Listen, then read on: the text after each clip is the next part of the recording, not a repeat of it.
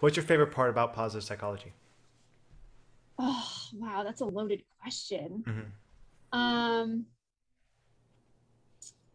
you know, I think I have to go back to Dr. Martin Seligman's sort of original uh, quest, if you will, when he started this, which was so much of psychology focuses, or, or old psychology, I should say, focuses on what was wrong with you. So, what was, you know, what were the ailments? You know, we have a whole DSM sitting here on my on my bookshelf with all of the things that could go wrong with us.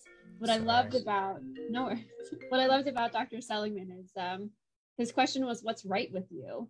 and how can we take what's right with you and make that and, and leverage that and, and make you a better version of yourself and make you stronger and um, get you to this place of flourishing that he talks about so much in his research. So that's my favorite thing is just, you know, in a world we tend to there tends to be so much pessimism and some, you know, negativity that surrounds a lot of things that we experience in our lives. And what I love about positive psychology is it encourages us to say, well, what's right with us and how can we use what's right with us to make the world a better place too?